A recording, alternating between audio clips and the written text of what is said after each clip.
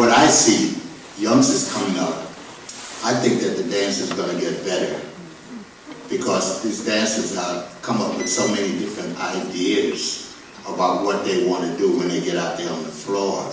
I mean, some, but most of the time they don't even know what the hell they want to do themselves. but when they get out there, they do something. And a lot of times it's in time with the music. And that is true. You know, they get out there, they be doing something. And they said, oh wow, that was with the music. You know, they didn't realize that they were doing it with the music, but they were trying to do something with the music, and they did.